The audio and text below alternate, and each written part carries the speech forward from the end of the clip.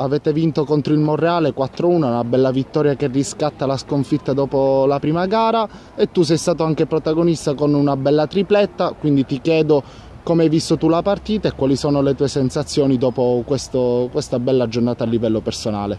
La partita è stata molto difficile, noi siamo stati bravi a uscirne.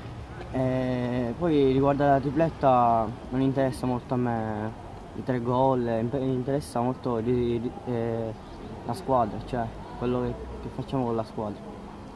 Come ti trovi con il gruppo? Come vedi i tuoi compagni dopo questo inizio di campionato? Allora la squadra è molto, cioè, mi ha accolto bene, molto educata, rispettosa. E...